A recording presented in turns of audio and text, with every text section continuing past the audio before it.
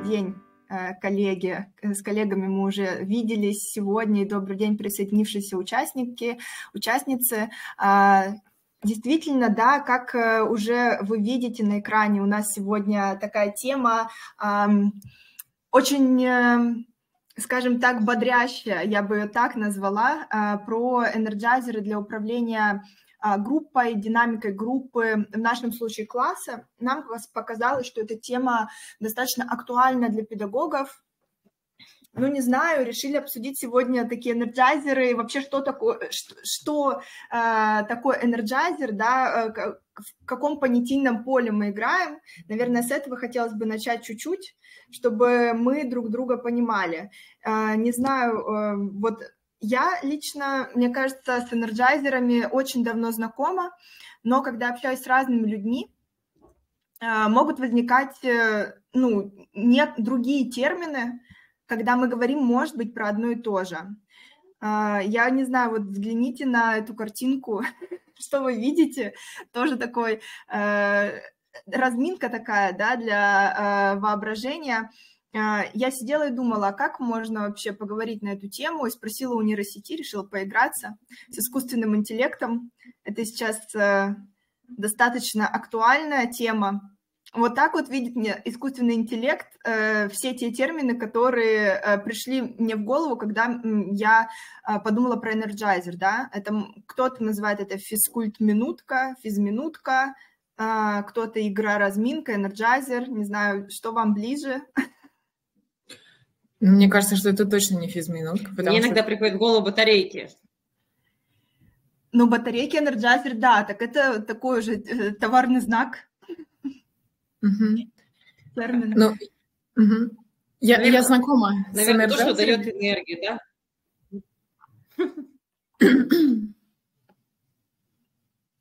Угу. Ну, это то, что дает энергию, но э, по идее эта энергия дает нам все. И вот здесь, мне кажется, здорово нейросеть, вот, наверное, то, что, э, ну, я, как думаю про энерджайзеры, э, нейросеть хорошо считала, да, на то она и нейросеть. А, потому что, ну, можно по-разному и разную энергию поднимать, верно? Если мы посмотрим там на самую среднюю картинку, как будто бы это мы, ну, говорим только про физические упражнения, да, но ведь это тоже, тоже всплеск энергии, да, когда мы позанимались, там, не знаю, поприседали, и вот она вам энергия. Но когда мы говорим про энерджайзеры, которые больше направлены на, может быть, наше внимание или наше воображение, либо на наше там креативное мышление – то как будто, или нашу концентрацию, то вот остальные две картинки, мне кажется, очень классно, а, ну, как ну, мы, вот именно по моему мнению, отражают эту суть, когда mm-hmm. наш мозг а, вот такой вот э, цветный и бурлящий. Mm-hmm. Ну, то есть, а, сейчас, э, как бы то, что мы сейчас обсуждаем, это, по сути, насколько мы употреб... можем употреблять этот термин энерджайзер относительно тех а, педагогических приемов, которые мы будем дальше обсуждать, да, верно?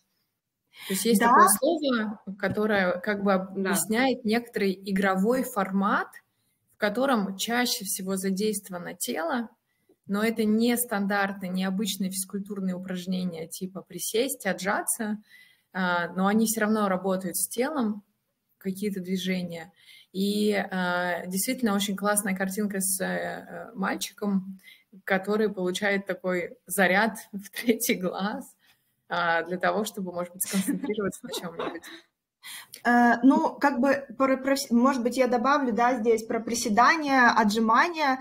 Вообще, я встречала такие энерджайзеры, будем честны. Ну, как бы они тоже работают, э, смотря какая у вас группа, смотря какой-то там класс, смотря какая аудитория. И иногда очень хорошо приседания даже на взрослой аудитории действуют, когда mm-hmm. нужно как-то вообще переключиться. Еще, э, ну, такая цель энерджайзера – это, ну, смещение внимания на что-то другое. Я не знаю, например, приходит класс, э, ну, я с таким встречалась, когда к нам приходят группы э, детей, э, они там, не знаю, шли э, 40 минут по улице, пришли, и нужно как-то настроиться на работу, изменить фокус. Ну, и для этого энерджайзер здесь будет работать. Поэтому, ну, как бы вот в нашем в сегодняшнем вебинаре мы преимущественно, наверное, будем использовать слово «энерджайзер», не столько физминутки, хотя, ну, они там, я так понимаю, что очень, ну, тоже применимы а, в каких-то ситуациях в школе не столько игры разминки, а энерджайзер, который включает и физические какие-то активности, и а, активности там на групповое взаимодействие, и там, не знаю, разминку воображения мозга, и там для концентрации. Поэтому вот, наверное, да, с таким термином будем работать, чтобы, чтобы понимать... Спасибо большое. Да. Спасибо большое, Анастасия. Очень, мне очень импонирует тема энерджайзеров. И, а, пожалуй, мы начинаем. Такое, спасибо за короткое введение. Что такое энерджайзер, чтобы было понятно. А что мы так? Здравствуйте, все, кто подключается. А, добрый день, мы начали уже. И мы разговариваем сегодня про энерджайзеры, короткие упражнения со смыслом. Итак, сегодня мы вебинар ведем втроем. Э, э, Анастасия начала сегодняшний разговор. Тренер неформального образования сегодня представляет позицию э, человека, который является специалистом в тренингах, в организации групповой работы разного возраста. Настя, помаши, пожалуйста. Добрый день. Э, далее с нами Катерина Любимова, специалист по а, музейной педагогике, куратор таких программ Красноярского музейного центра, как а, «Уроки диалога» и «Шаг навстречу». Э, и а, позиция человека, специалиста в этой области тоже сегодня будет представлена. Екатерина, обозначьтесь, пожалуйста. Я здесь. Да, и я, собственно говоря, я являюсь преподавателем школы прежде всего и являюсь преподавателем Центра иноязычного образования и по факту тоже э, задействована в сфере тренингов. Мы все очень любим тему энерджайзеров, э, коротких упражнений, понимаем их ценность. И поэтому, собственно говоря, мы э, сегодняшний вебинар хотим предложить и вам, чтобы вы могли использовать данный материал где-то в своих образовательных пространствах. Э, у нас формат э, вебинара интерактивный, то есть мы всегда рады, когда вы включаетесь голосом, поэтому рады вас видеть, те, кто включился. А, знаю, что основная масса будет смотреть э, видеозапись, тогда пишите комментарии на той площадке, на которой вы увидите. И ваше мнение всегда очень важно для нас, любым комментариям будем рады. Вебинар записывается, да. А, сегодняшний вебинар является не первым. Мы такие в серединке примерно сегодняшней нашей программы э, проекта формат классного часа школьный тренинг 22 марта. Мы работаем с темой энерджайзеры. Впереди у нас еще два вебинара 19 э, апреля и 12 мая. Мы будем работать с такими темами, как э, задания, инструменты, деятельность, которая работает на сплочение класса, и поговорим про программу «Говорящие вещи» и про практикум игру. И 12 мая в конце года, а, в то время, когда а, в каждом в каждой группе, в каждом классе подводится рефлексия и выводятся годовые оценки. Но помимо годовых оценок мы имеем также место с рефлексией, которая проводится по а, тому, как прошел этот год, что нам ждать в следующем, и как провести ее интересно и творчески, мы будем говорить 12 мая. Это то, что нас ждет на весну, а сейчас мы пока начинаем сегодняшний вебинар. А, в первой части наш вебинар будет состоять из двух частей, как вы видите. В первой части мы поговорим а, про энерджайзеры, мы немножко уже начали про них и продолжим. И а, затронем первый вид энерджайзеров, те, которые направлены на энергию группы. Дальше у нас будет короткий перерывчик в 10 минут. И мы продолжим ровно в 15.00 вторую часть. Во второй части будет еще два вида энерджайзеров, в каждом будет много примеров. Поэтому э, слушать обязательно, смотреть обязательно, использовать материал тоже крайне желательно. Катерина, передаю тебе слово. Да, доброго дня еще раз всем. А, так получилось, что для меня Energizer — это такой, а, такие упражнения, которые мы чаще всего проводим а, в музее, и для нас они становятся очень важными, потому что каждый раз, практически каждая встреча, каждое мероприятие — это встреча с новой группой. И, а, как а, Настя уже упомянула, иногда группа очень долго едет, очень долго идет, с ними что-то произошло до этого, и просто элементарная усталость или непонимание, зачем мы пришли куда в этот момент, что это за здание, где мы находимся, то вот здесь получается, что э, именно возможность э, сонастроиться и организовать коллективную работу э, становится предельно э, важной. И иногда мы тратим до 30% времени для того, чтобы сперва группу собрать, настроить и э, как бы положить ее в одну, в одно, поставить ее в одно направление, чтобы это случилось. И когда а, мы обсуждали о том, почему мы, эта тема может быть полезна учителям на классных часах или во время уроков а, любого предмета, мы размышляли над такими потребностями, как, например, зачем вообще учиться коллективно, да, и э, наверняка вы слышали про такие исследования, когда уже взрослых людей э, измеряли их эффективность, насколько они могут, например, эффективно работать один дома, или э, собираются небольшими э, группами, и там, где э, возможно, как бы люди могут смотреть друг на друга и выполнять какие-то вещи. Наверное, самый такой яркий пример — это упражнение в спортзале. Я надеюсь, вы все знаете, что пока ты один дома, например, с YouTube, ты можешь э, отжаться два раза и потом решить, что, ну, кажется, хватит. Да-да-да, это точно. Да. А когда вы находитесь в спортзале и продолжаете уже час э, делать задания, которые вам дает тренер, и вы понимаете, что вообще-то рядом с вами люди, которые а, не выглядят сильнее вас, но они вообще-то как бы отжимаются лучше или приседают эффективнее. Да, да. да, в этот момент происходит то, что а, я бы назвала это создание группового поля. И вот э, то, те э, аспекты, которые мы сегодня будем обсуждать, то зачем нужны нам энерджайзеры, это как раз вот про вот эту коллективность, сонастройку а, группы для того, чтобы всех, э, все вот эти разные фокусы, все смотрят в какие-то или думают про какие-то всякие штуки и сфокусировать на чем-то одном. И вот поэтому а, энер... как бы сила или волшебная вот эта а, суперспособность э, вот этих энерджайзеров, игр, разминок с каким-то смыслом, это на то, чтобы в том числе собрать коллективное внимание и направить в одну точку. Коллеги, у нас здесь есть еще э, некоторые вещи, которые мы вынесли, когда с вами брейнштормили. Кто-то хочет э, на чем-то еще сосредоточиться из вас? Да, мне, мне кажется, вот было бы еще полезно сказать, что часто мы имеем дело с ситуацией класса, который пришел, например, после физкультуры и лег на парту, и говорят, ну все, сегодня отдыхать будем, сейчас будем отдыхать, давайте, пожалуйста, не будем работать. А у вас классный час важный, или у вас важная новая тема. И вы вообще планировали, э, что будет, э, будут ребята активные, а они после физры. И ситуация, вот как их собрать, как их переключить, как э, их направить, как, как их заставить забыть про физкультуру, на которой они выложились по полной, экспотевшиеся. Вот, угу. конечно, какое-то требует, требуется время, но есть волшебные такие средства, о которых мы сейчас будем говорить, которые помогают вот действительно как-то помочь переключиться, а помочь сделать так, чтобы ребята опять оказались а, на одной волне и на той волне, на которой нам нужно, на том уровне энергии, который нам нужно. Да, поэтому это, конечно, вот очень важно. Анастасия, хочешь что-то добавить?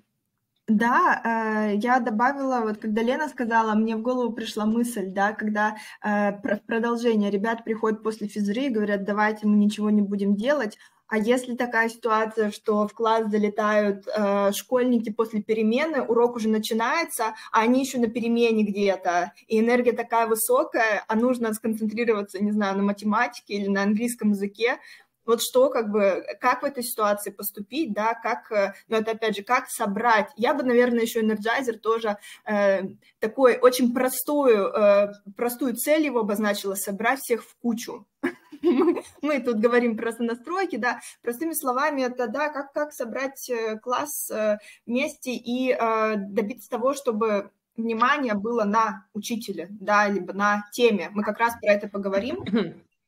Вот, и, mm-hmm. наверное, мы можем уже тогда эм, потихоньку-потихоньку э, двигаться к эм, тем примерам, которые мы приготовили, э, мы решили, что сегодня мы э, разделим вообще все энерджайзеры, которые могут существовать там на несколько условно подуровней. И, э, ну, когда мы рассуждали, да, и вот в самом начале энерджайзер, это же про энергию, да, это же про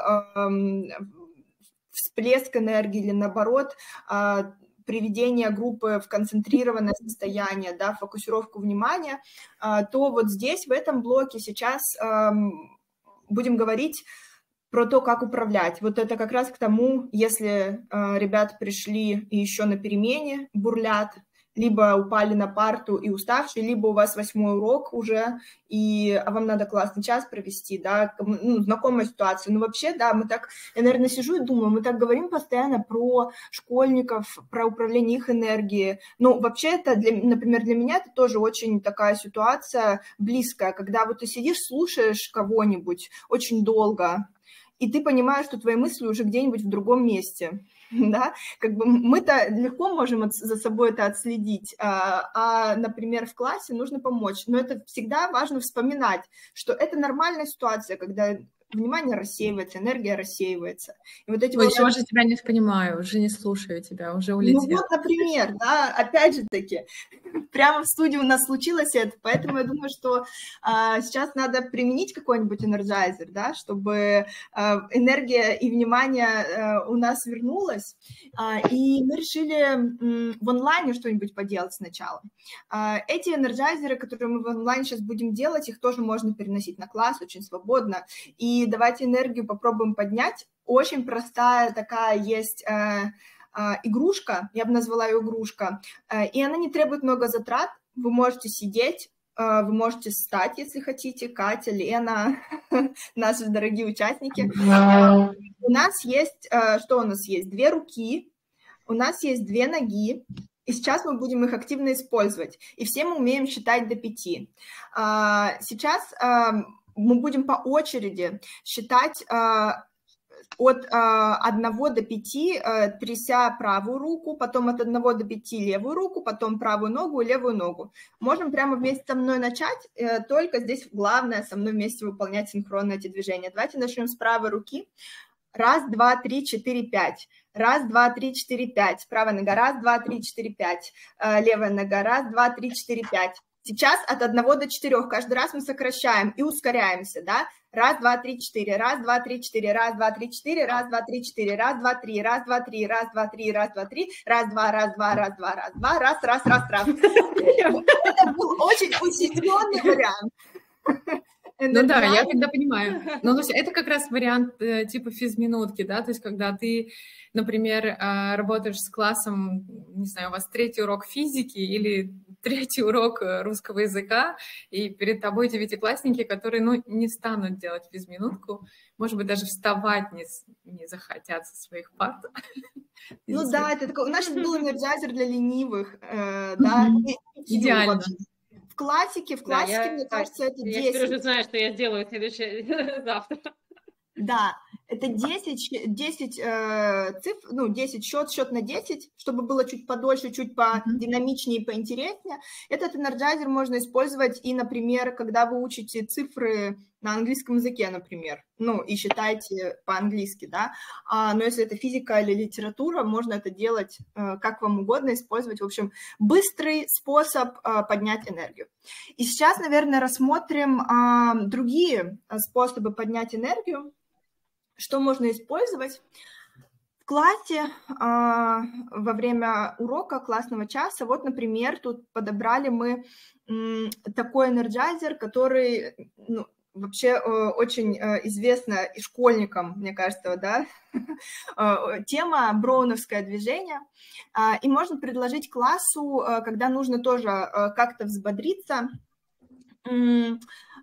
подвигаться, да, это тоже про движение, про хаотичное движение. Э, суть его в том, что э, участники в классе двигаются хаотично, они как атомы э, до того момента, когда, ну, не знаю, педагог или ведущий говорит «стоп», и нужно сказать то число, в группы соответствие этим числу, они должны объединиться. Ну, то есть, например, атомы двигаются, двигаются, двигаются, и нужно образовать молекулу из пяти атомов, да, и э, ученики должны быстро-быстро найти себе вот эти мини-группки, и там уже, э, ну, следующий уровень учитель может какой-то вопрос задать, чтобы они обсудили в этой мини-группе, или сделать какое-то задание в этой мини-группе. Потом обратно они распадаются на атомы, также хаотично двигаются. Можно при, включать музыку при этом, можно, э, не знаю, э, самим что-то напевать, да, можно жужжать.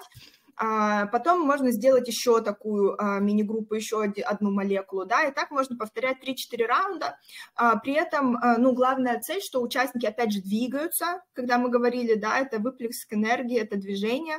Они быстро должны найти себе какие-то мини-группы, скоординировать да, это тренировка внимания, тренировка слуха. И если мы говорим про э, задания, которые учитель там сверху может давать, если он хочет, чтобы не просто не двигались и объединялись, еще какие-то задания динамично выполняли, то, э, ну, это тоже какие-то, может быть, физические э, нагрузки могут быть небольшие. Мы даже приготовили э, примеры таких заданий, которые можно предлагать. Угу. Ну вот, например, да, что угодно можно. Можно также, кстати, и руками трясти, то, что мы начинали с самого начала. Можно хлопать, можно а, чуть-чуть вклю... уже концентрация, там, не знаю, э, внимания и а, мыслительные процессы, там, посчитать суммарный возраст всех, кто в группе, там, пять человек быстренько посчитать и сказать. Можно прыгать, можно приседать, ну, в общем, на все, что фантазия ведущего а, способна, а, то можно включать в это броуновское движение. Анастасия, вот. а я, знаешь, хочу добавить.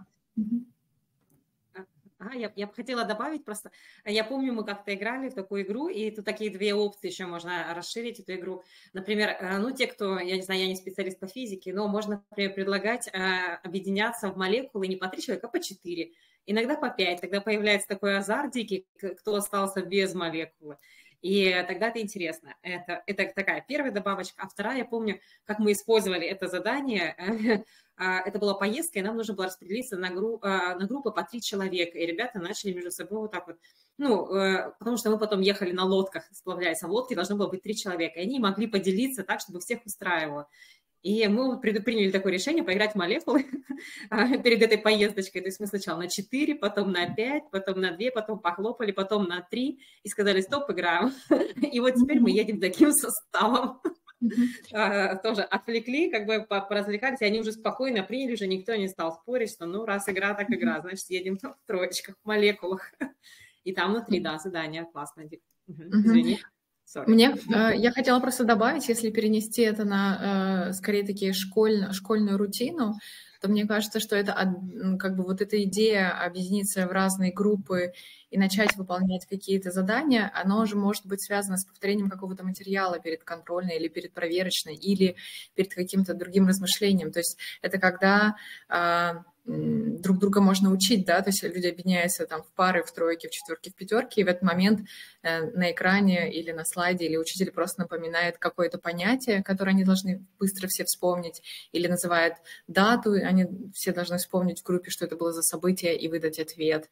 А, или там, например, э, какая-то э, какой-то другой, какой-то другой запрос на знание, это как вот вариант. И вторая, мне кажется, вещь, это такая тоже классная практика, которую можно делать, когда делаются какие-то мероприятия в рамках одной параллели. Э, Все время стоит вопрос, как ребята вообще знакомятся на таких мероприятиях, как они пересекаются, когда учатся в разных классах. И вот перед каким-то мероприятием, которое предполагает, не знаю, последующую совместную игру или брейнринг или что-то такое, то это тоже способ познакомить друг с другом. То есть вопросы могут быть касаться не только физического упражнения, да, но и того, чтобы все выяснили быстро, кто что любит в еде, кто какую группу слушает, там, кто да, да. играет. И э, я сейчас просто говорю о том, как эту же самую формулу, этот самый по подход можно по-разному тоже использовать, потому что, э, по сути, сегодняшняя наша встреча, она про то, как, да, мы, с одной стороны, условно все разделили на три группы, это вот работает только с энергией, но каждый раз э, педагог может чуть-чуть добавить, чуть-чуть понять, как, зачем это ему использовать еще. Угу. Uh, да, uh, это вообще uh, очень ценный комментарий. По факту все энерджайзеры, да, они как бы, ну, главная их задача это работа с энергией, а если уже дальше мы эту оболочку базовую чем-то дополняем, то они могут работать на другие смыслы. Вот мне очень, да, понравилось, кстати, Катя, что ты сказала про как Energizer может в целый образовательный процесс быть вплетен. То есть, в, э, если мы берем формулу молекулы, мы можем прямо действительно целый урок э, в виде молекулы э, провести, не знаю, сделать урок по закреплению, повторению материала, да, просто они будут каждый раз в новых группах, да, по два, по три отвечать на какие-то вопросы или выполнять какие-то задания. Это всегда зависит от учителя, конечно, всегда зависит от педагога, как, э, ну, мы всегда даем просто универсальные инструменты, а уже как он применяется, в какой форме, это, конечно же, мне кажется, вообще фантазия, профессионализм педагога, э, а они безграничны. Мы можем тут кучу вариантов э, нагенерировать. Да, конечно. А, спасибо большое. То есть вопрос, конечно, с энергией, он такой а, серьезный, потому что если вдруг ребята, участники группы, либо ученики поймали эту энергию и готовы работать, то тогда действительно все получится. А, и у нас следующий энерджайзе про как раз вот такую передачу энергии, да, Катя? Угу. А, я вот хочу остановиться особенно на варианте 2. А, пока я буду рассказывать, то, конечно, все могут а, и сейчас, и потом в записи прочитать, как выглядит вариант 1. А, это, а, по сути, очень похожие упражнения, они работают с тем, чтобы, например, э, э, то есть они работают с той установкой, что человек — это машина, э, в которой есть огромное количество мышц и митохондрий, и если эта машина не работает, не двигается, то и митохондрии не заряжаются, то и энергии нету. И эти вот как раз такие э, интересные э, упражнения, которые по большому счету можно проводить, э, ну, мне кажется, очень классно их проводить и в средней, и даже в старшей школе, опять же, для ленивых, э, только с одним условием, что все встали из-за парт, все стоят. Когда мы это делаем в музее, мы, конечно, э, не ограничены партами, мы можем встать в круг, и это делается упражнение стоя. А, и идея такая, что э, поработать с двумя вещами, с вниманием участников и с их какой-то немножко театральностью, с их идеей, а, с их э, желанием все равно во что-то играть и придуриваться, если так совсем такое слово использовать, с некоторым артистизмом, который а, ищет своего проявления довольно такой структурированной школьной жизни. Вариант номер два. Участники стоят в кругу, и а, важно, чтобы все видели, даже если вы стоите в классе, вы тоже а, как бы можете двигаться вокруг своей оси или, по крайней мере, так встать, чтобы а, вы могли охватывать большее количество людей в фокусе вашего внимания держать. И ведущий говорит, что вот у меня есть какой-то воображаемый шар, и он обладает какими-то разными свойствами. Он может становиться вдруг очень тяжелым, он может становиться очень маленьким и липким, и я хочу от него избавиться. А, или этот шар, который я способна дунуть другому человеку. Здесь важное правило, которое озвучивает модератор, что а, энергия — это твой взгляд и твое движение в сторону очень конкретного человека. То есть а, человек, которому ты хочешь сейчас послать этот шар, неважно какое его качество, вес и какой он на ощупь, он должен четко понимать, что это ты ему это передаешь. То есть если я смотрю сейчас на Лену, то я передаю именно Лене, и Лена а, ждет его, она знает, что сейчас она его получит. А, да, очень классно, опять же, говорить о том, что тут важно поддерживать скорость, что а, мало времени на раздумывание, кому же я следующему хочу его передать. И, а, может быть, а, такую игру а, с теми ребятами, которые первый раз вообще в нее играют, э, мы предлагаем делать так, что сейчас у нас маленькая практика, мы типа тренируемся в нее играть, все повоображали, как он тяжелый, тянет от земли, какой он легкий, поэтому он как шарик, повторюсь, там совсем маленький, но как бы я могу выкинуть хорошенько. А дальше мы говорим о том, что а сейчас будет такой перформанс, важно всем молчать, всем быть сконцентрированным на нашем вот этом вот пространстве и очень быстро двигаться. Потому что, по сути, э, в этот момент происходит сильная концентрация внимания, человек э, ждет, что ему что-то в любой момент прилетит, он должен это отбить. Это напряжение, это мышцы, это внимание. И буквально через э, там, 5-6 минут у вас снова готовая группа, потому что они сами себя зарядили энергией. И это классно с ними обсуждать. Как давайте, сейчас... давайте, да, давайте поиграем. Ага, Катя. Ай, ай, лови. Поймала? Да. Настя, ты не, не ловишь. А. Да, окей. Но я бы Слушайте, ну правда, я вот так это чувствую, да, такое ощущение, что да, я в игре, я подыграла, и действительно, то есть я подумала, как изобразить мяч, а, я кинула, я действительно, мне стало интересно, поймал ли другой человек, то есть однозначно переключает. Переключает с того, что было до этого, то есть энерджайзер, как такой переключатель энергии, он реально срабатывает в этот момент, да, то есть и как бы человек включается в игру действительно. Классно, спасибо такой за опыт. Я еще, э, я бы добавила еще, что мы, такой, у меня есть опыт использования такого энерджайзера, перед эм, занятиями по креативному мышлению, когда нужно было размять чуть-чуть воображение, э, потому что, ну, человек, который там принимает шар или который подает шар, он же должен его как-то зарядить, да, это же нужно изобразить, какой он тяжелый, там, не знаю, липкий, э, воздушный или там, не знаю, это мяч э, кожаный, ну, то есть и это нужно, во-первых, это нужно быстро э, прийти с этим решением, а потом еще и как-то это форму, да, изобразить форму. Очень классно работает, когда вот нужно настроить, например, группу о том, что дальше будет что-то связанное, не знаю, с креативом, да, как, или, ну, на какую-то тему подвести.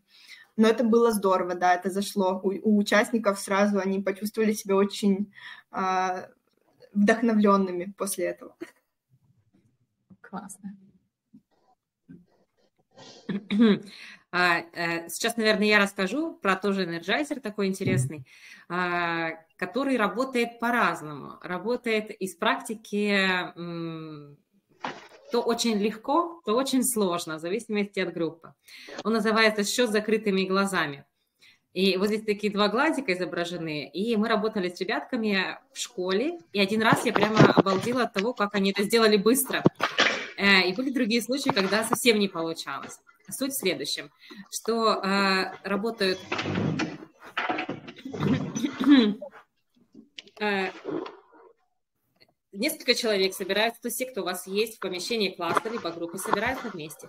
Вам нужно будет заранее, конечно, их посчитать до 20, либо до 12, сколько у вас человек группа. И дальше, э, э, уважаемые участники, давайте попробуем выключать звук, если вы не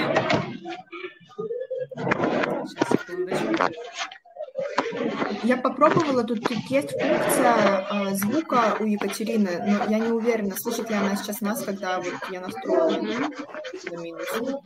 А... Скажите нам, пожалуйста, Екатерина, да. слышите ли вы нас? Да. Дорогие участники.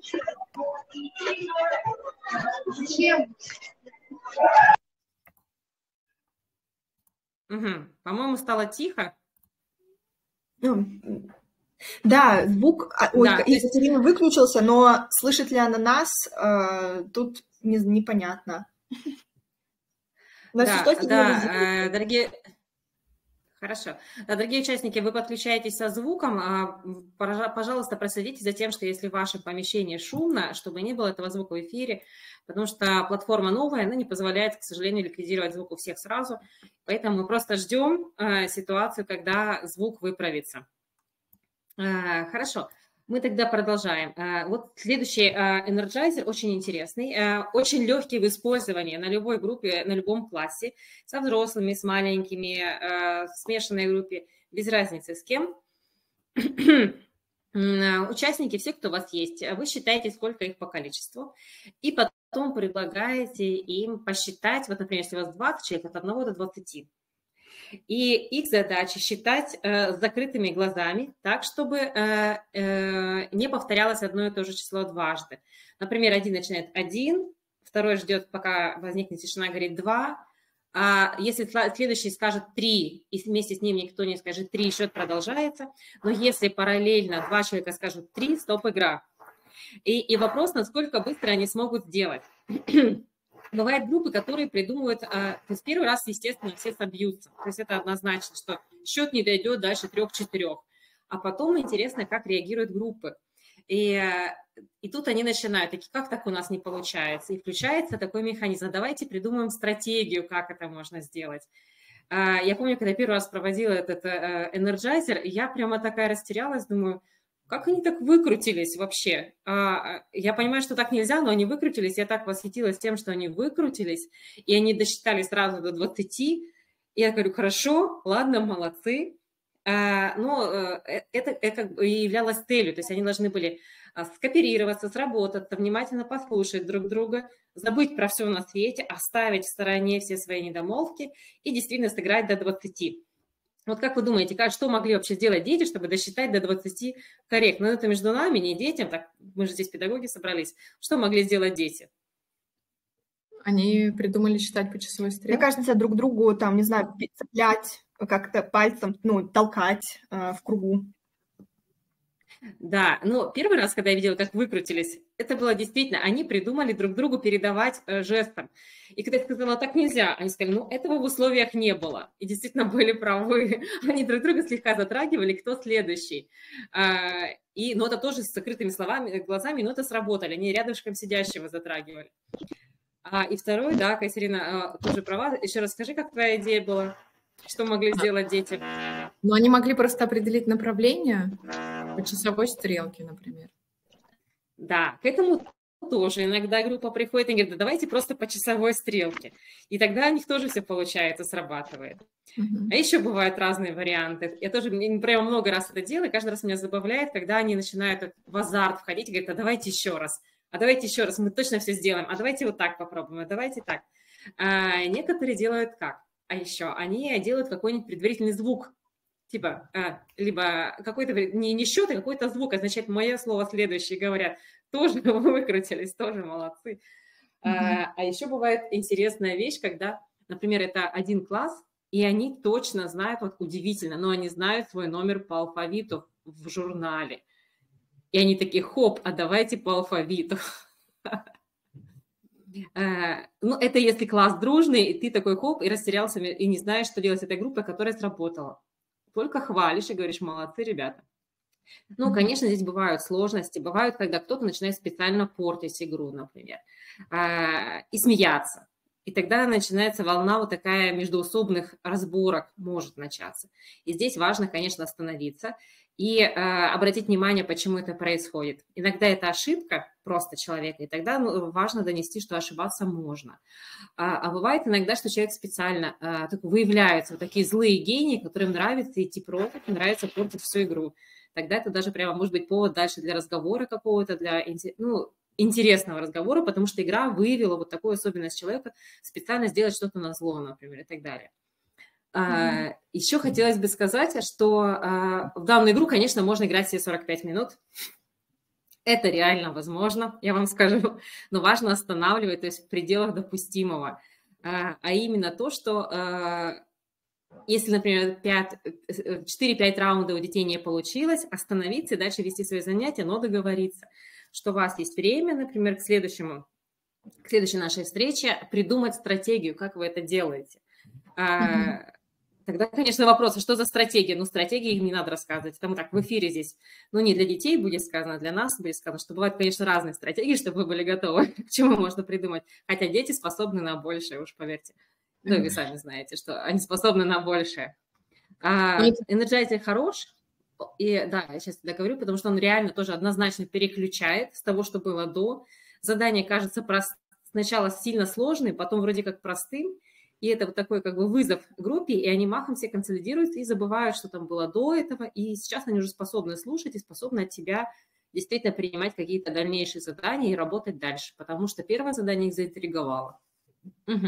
Я еще хочу сказать, что данный энерджайзер можно использовать. То есть мы, конечно, забегаем немножко вперед о том, что а, работать с энергией можно еще параллельно какие-то другие цели преследовать, да. То есть Катя немножко уже забежала то, что будет после перерыва, про, про сонастройку, про умение и а, возможность настроиться на один поток, а, а именно на восприятие информации, на работу, то есть как бы быть на одной волне. Мне еще хотелось бы сказать, что а, данное упражнение, несмотря на свою простоту и такую какую-то универсальность, попробуйте между собой это сделать, это действительно интересно, оно выявляет вообще закономерность восприятия. И когда из обоймы выпадает один человек, то есть он был не с нами, не здесь все еще. И все уже начали играть, а он такой молчит. Его э, пихают, мол, типа, что не говоришь? А он берет и спрашивает, а что вообще делать-то нужно?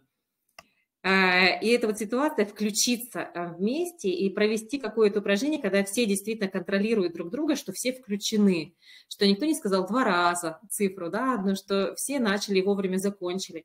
И оно очень сильно так вот консолидирует э, всех, кто находится в помещении, вот действительно быть их такой одной командой, работать в одном направлении, и очень здорово потом проводить какую-то деятельность, которая действительно, для которой действительно важен, важен такой командный дух и настройка, и внимание к тому, что происходит вот здесь и сейчас прямо.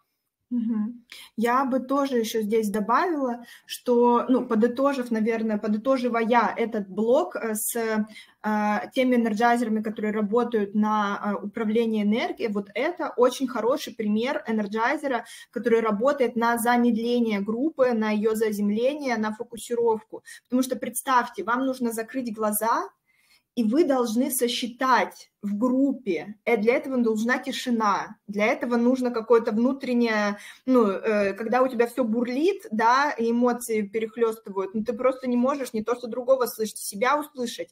И вот когда нужно э, группу чуть-чуть э, как бы успокоить, то можно предложить такое упражнение. Может быть, даже без э, там потом э, очень э, хороших выходов на э, работу в команде, да, которую, например, мы делаем. Тут в зависимости от той цели, цели, которую вы преследуете. Здесь можно остановиться на том, чтобы вы попросили их досчитать до, до там, 20 или сколько их там в кругу. И здесь тоже такой лайфхак, что если вы не знаете, там, не знаю, не понимаете, сколько сейчас человек у вас в группе, можно сначала их попросить, чтобы они рассчитались в кругу. Вы точно поймете, сколько их, и потом уже давать задание, рассчитайтесь. Вот, э, поэтому вот это как раз из тех, что два направлены на подъем, а это на снижение. Ага, Лен.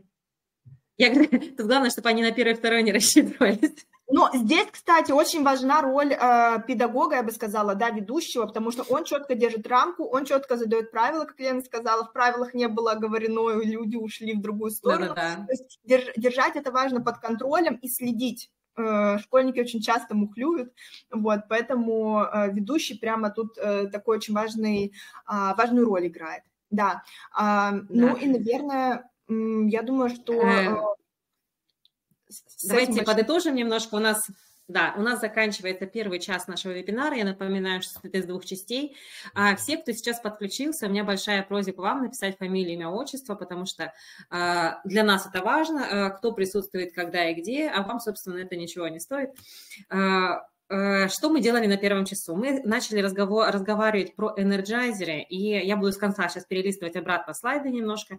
Мы поговорили про те энерджайзеры, которые помогают а, собирать группу, помогать поднимать уровень энергии, либо его регулировать, как-то устаканивать на рабочий лад, настраивать людей.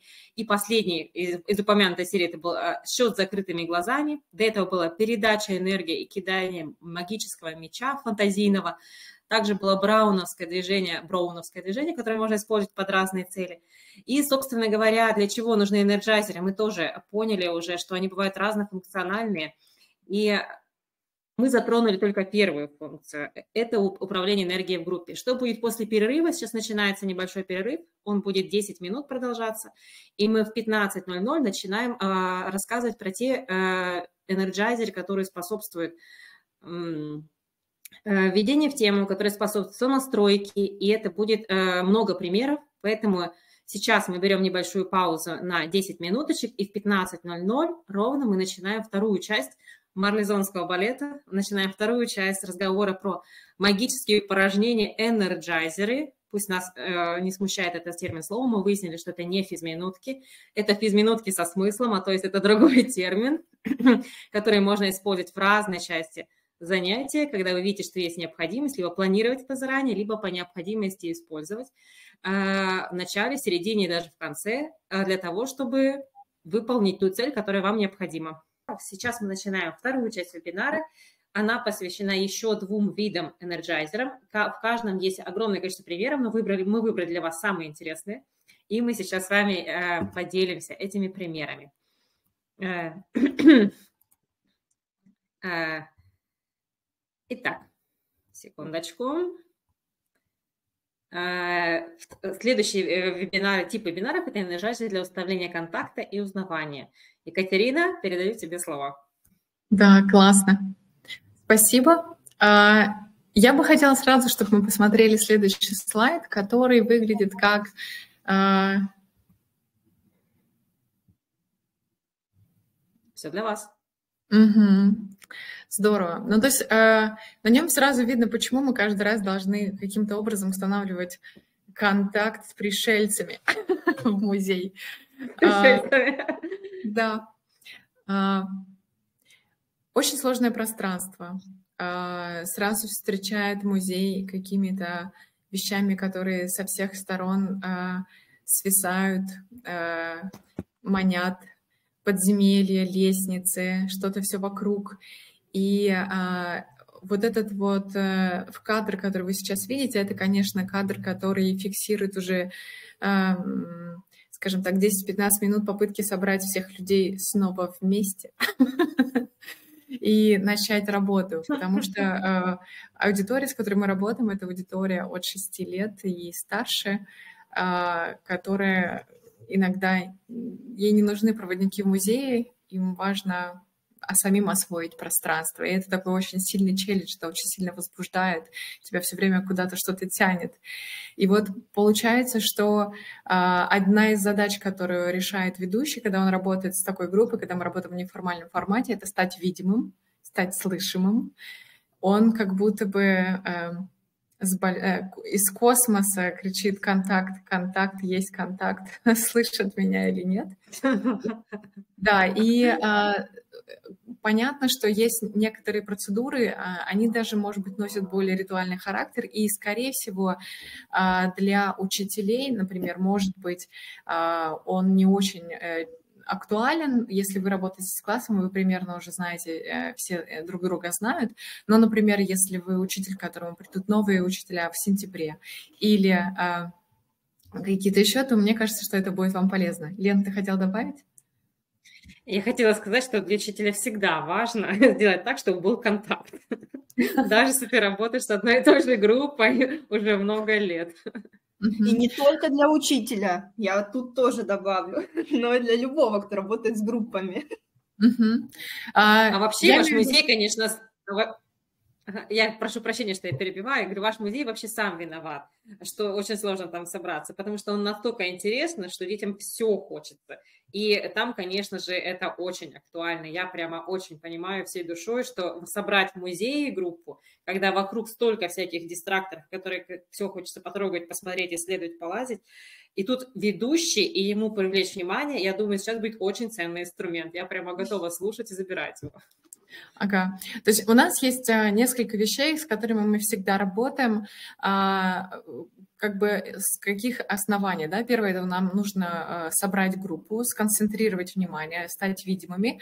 Но еще мы должны поработать с тем, что есть определенные правила, которые есть в музее. И, конечно, нам очень важно, чтобы группа из очень возбужденного состояния как бы вошла в рабочее. И для этого иногда нам э, даже наоборот нужно не успокоить группу, а наоборот ее э, возбудить, сгенерировать в ней самой мотивацию, потому что чем старше возраст э, ребят, тем э, чаще они оказываются теми, кто, ну, вы нас уже не удивите. Мы пришли э, в музей, ну, что здесь может быть интересного? И поэтому очень классно, когда э, мы, э, то, что, о чем я сейчас буду рассказывать, это всегда начало не просто экскурсии, когда мы будем ходить, а это начало любых образовательных событий в музее. И если, Лена, ты перелистнешь, то я покажу, расскажу немножко про тот один из приемов, который мы всегда используем именно для того, чтобы поработать. А нет, не так. Мой план другой. Угу. А, я, а можем мы тогда все-таки туда вернемся, а потом сюда? Я ну, хочу конечно. закончить. Все возможно. Супер. А, Да. А, вот эта вот штука про пробудить любопытство, она иногда связана еще и с тем, что нас встречает. Музей все время перестраивается, все время переделывается, и очень часто мы используем в качестве импульса в том числе те вещи, которые у нас сейчас есть. И если ты теперь перелистнешь, то мы увидим работу красноярского художника Юрия Адамейка а, большой коллаж а, про ультрасадовников. И вот сейчас, например, мне очень хочется, поскольку мы будем дальше работать с более, может быть, а, не то чтобы они будут сложнее или глубже истории про энерджайзеры, но, допустим, их будет много, и мы будем прям э, показывать вариативность их э, различные применения. Я хочу, чтобы сейчас э, все, кто есть у нас в активном э, состоянии в вебинаре нашем, они могли бы либо в чате написать, либо, может быть, кто-то голосом ответить на этот вопрос, на который нас вдохновляет его работа. Э, ваш любимый запах? А нам тоже можно писать? Да. Можно писать, можно говорить вслух. А, ну, тогда я буду говорить вслух, буду засорять эфир. По картинке, да, ассоциативно, Кать? Как хочешь. Ну, а, хорошо, тогда по картинке. Мне сразу пришло в голову, что мой любимый запах, сейчас, конечно, будет, будет критика, что это не запах, а вкус, но мой любимый запах – это клубника. Я не знаю, почему клубника для меня пахнет, но она определенно пахнет каким-то таким еле уловимым. А, ну, в общем, а, да, и глядя на эту картинку, тут даже клубники нету. Тут божья коровка. Но первое, что мне пришло в голову, это запах клубники. Ага. Вот. А, а по порядочку, да, все вопросы? Можно... А... Наверное,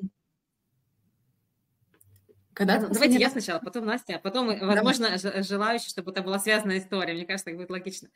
Последний раз, э, это было летом, и было солнце неимоверное, и э, была э, такая мисочка с клубникой, и был потрясающий запах. Был такой легкий ветерок, было так классно. Mm-hmm. Вот. Классно. А можно я остальные вопросы не буду отвечать? Да, да, у меня, то, у меня тоже вопрос, мы двигаемся на все вопросы, один отвечает. Да, или... А, давайте сейчас, а, поскольку мы в эфире и трудно пере, передавать слово друг другу, это будет здорово, если бы все-таки все вопросы ответились. Ну вот, а, вот так всегда, диктатура. Я затрудняюсь просто, что пахнет невкусно. А, невкусно пахнет для меня мед для меня лично, потому что я его не люблю. А, вот. А, э, вчера я э, случайно взяла из коробочки чая не тот пакетик и поняла, что это медовый чай. И разочарованно вылила. Нельзя такое говорить вслух, но мне не нравится запах меда. Какой запах кажется странным? Странными, мне кажется, некоторые виды духов. А, мне кажется, а, я так иногда чувствую этот аромат и думаю, как может вообще человек любить этот запах? Он же абсолютно непонятный, он неприятный и, и, и не отталкивающий, он какой-то вообще... И что mm-hmm. это за шлейф такой после человека тянется от такого неприят... непонятного запаха? Okay. Я бы предложила Насте, спасибо огромное, Лена, я бы предложила Насте, я думаю, что она пока нас слушала, и наши участники тоже мысленно отвечала, я предлагаю тебе выбрать один ответ вслух. Да. Э, ну, нечестно, нечестно.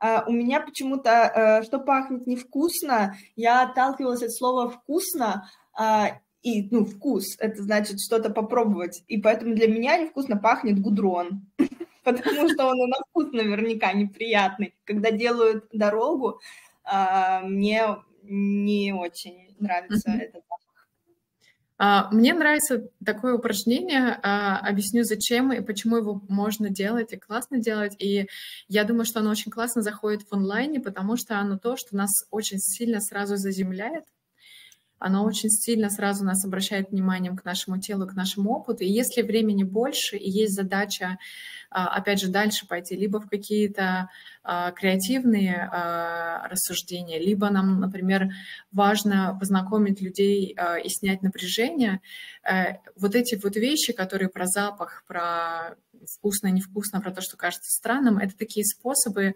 как мне кажется, очень сильно вдруг понять, что ты большой, внутри у тебя многобра... ты многогранный, у тебя было лето в твоей жизни, да, у тебя был э, опыт э, жевания гудрона или не было еще опыта жевания И э, а...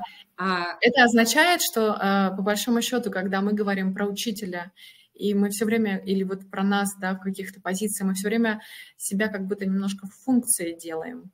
А на самом деле, как только вы начинаете с людьми, вы больше, чем функция. Вы всегда человек с большим опытом, с большим бэкграундом. И вот эта вот вещь, мне кажется, очень круто подчеркивать.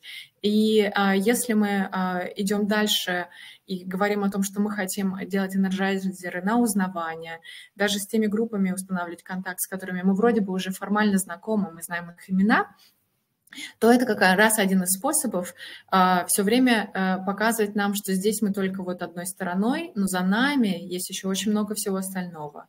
И это такие а, способы сделать какие-то крючки, проложить мостики между друг другом. Поэтому вот а, любые энерджайзеры, которые работают с телом, с опытом и многогранностью, они а, приветствуются.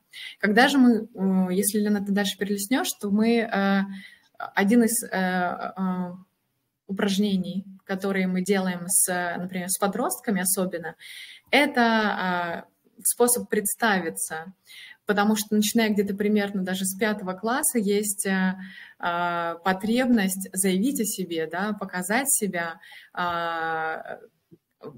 получить чуть-чуть внимания. И опять же, ребята должны по большому счету понять, каково это быть ведущим, Э, потому что здесь такое правило, что вы а, оказываетесь в круге, до этого вам уже предложили написать, например, скотче, на скотче малярном имя, то, как вы хотите, чтобы вас сегодня называли. Если вы сегодня Колян, вы Колян.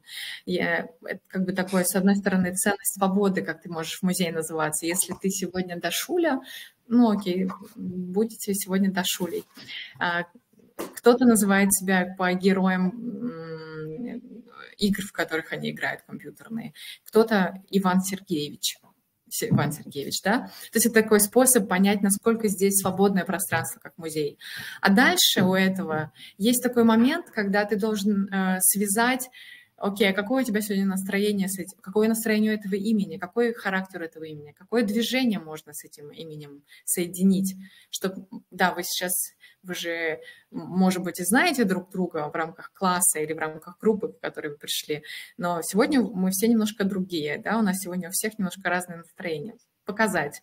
И это такой э, момент, который требует, с одной стороны, преодоления. Тебе нужно выйти в центр круга, и на всю аудиторию, которая на тебя сейчас все, все внимательно смотрит, да, сделать «я Дашуля» и не побояться, и выйти и сделать это. Это страшно. Это немножко страшно, но это как бы как минимум всех, э, с одной стороны, какой результат? А, во-первых, э, все понимают вот эту степень свободы, а с другой стороны, степень ответственности, да? Одно дело, когда вы кричите да. И из толпы, а другое дело, когда вы то же самое заявляете как ваш жест. А, из этого мы потом можем выходить на разные деприфинги о том, что сейчас было. Сейчас вы стали видимыми, сейчас вы позволили себе называть, э, представили себя так, как вы хотите, чтобы вас сегодня называли. И это, по сути, акт художественный. Это жест художника, который э, сказал, я видимый, я вижу так, я буду действовать так, и я достаточно смелый быть таким сегодня. А, и то, на кого мы сейчас пойдем смотреть, это тоже те художники, которые в разной степени показ... ну, разрешили себе быть такими, какими они есть, рисовать то, что они захотели. Это такая сила, да? И как раз можно обсуждать здесь, было ли это легко, было ли это сложно. И я повторюсь, что иногда мы работаем с таким форматом до 30% времени, потому что после этого мы уже можем идти и смотреть очень быстро какие-то работы, очень быстро обсуждать, потому что создали общую платформу, такую сонастройку, а, где а, участники, где я верю, что участники будут со мной делиться своим реальным мнением. И а, самое важное, все уже немножко побыли э, вот в этой зоне внимания и не станут, ну, скажем так, перетягивать сильно на себя внимание, уводя с содержания. Может быть, кто-то посмотрит и расскажет еще про какой-то энерджайзер, который здесь есть. Настя, может быть, ты? Угу, да. Я про этот рассказать, или я хотела, наверное, рассказать про другой энерджайзер? Да, про следующий. Который, который, да, который э, работает на узнавание друг друга. Вообще перед э, классным руководителем или там перед педагогом стоит э, задача, да, сплочения коллектива. Ну, она такая сквозная. И, э, ну, очень часто это можно делать по-разному, э, но э, вот ценны те, ну, в нашем случае энерджайзеры, в другом случае, может быть, какие-то подходы, которые работают на установление доверия, ну, когда люди будут, да, с друг другом общаться, когда они доверяют друг другу, когда они знают что-то про друг друга, да, когда они готовы работать вместе. Э, и вот э, это все формирует безопасное пространство, когда мы общаемся. И вот здесь есть такой энерджайзер, который вообще хорошо работает с группами, которые вроде бы ну, давно вместе, да, это может быть класс, это может, ну, которые, не знаю, там с пятого класса вместе, сейчас они в шестом, седьмом, а, но этому можно посвятить вот какой-нибудь из классных часов, или это можно сделать активностью, энерджайзером при выходе куда-нибудь на природу или в другое место, а, и называется он вообще, да, что, что а вы знаете, что вы знаете, когда, э, ну, у нас у всех есть какие-то факты, которые знают только, может быть, очень близкие люди или родители. Э, но очень интересно было бы узнать, например, э, про этот факт э, другого человека. И здесь можно предложить участникам написать на листочке про себя какой-то э, факт, э, может быть, увлечение, может быть, событие, которое с ним приключилось, или где он был, да, что-то, какая- какая-то э, деталь из жизни, э, про которую еще никто не знает. Да, вот он, то, что этот человек носит с собой, э, но готов поделиться, да, в то же время, да, не нужно вытягивать что-то супер эксклюзивное, особенное, чем он готов поделиться, положить э, это на, ну, на листочек, да, эту мысль, и потом отдать ее не знаю, в условную шапку. А, все эти ответы, все эти факты перемешиваются и а, вытягиваются другими людьми и читают, а, читаются. И самое забавное, когда группа начинает угадывать, а про кого это. Иногда там ответы сразу же там, ну, понятно, очевидно. А иногда группа очень долго может гадать, потому что факты мы никогда не знаем, да, что стоит за этим человеком. это очень сильно способствует установлению контактов, каких-то связей в группе, потому что, ну, э, вроде бы у тебя есть одноклассник, вроде он ходит каждый день в школу, но ты вообще даже не подозреваешь, что он там увлекается э, там, тем, тем же, что и ты, а вы никогда с ним не общались, да, например, и тут бац, ты про это узнаешь, да, или там какие-то общие темы для разговоров, не знаю, где были прошлый, прошлым летом а, или что-то подобное. Ну, в общем, а, это с одной стороны, да, это не супер активный, да, энерджайзер, но э, энергия выплескивается в нем за счет того, что люди улыбаются, люди mm-hmm. смеются иногда, когда они пытаются угадать друг друга, и э, очень хорошо, в общем, работает на взаимодействие. Э, поэтому его можно использовать. И, кстати, на новых группах тоже, но на сформировавшихся это тоже здорово работает. А можно я добавлю тоже? А, а, Катя, ты хотела, да? А, просто мне кажется, что а, мы сейчас вот больше говорим про сонастройку и про такую психологическую безопасность, когда люди вдруг чувствуют, а, что да, в этом пространстве я смогу спокойно выражать свои мысли, либо я могу быть услышанным. И вот я, например, провожу похоже, тут можно вариатировать сколько угодно это задание. А суть его в том, что человек дает какую-то личную значимую информацию.